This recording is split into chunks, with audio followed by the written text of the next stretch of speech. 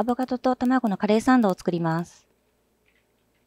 ゆで卵2個、アボカド1個、マヨネーズ 40g、カレー粉小さじ1、塩コショウ適量、20回ほどブンブン引っ張ります。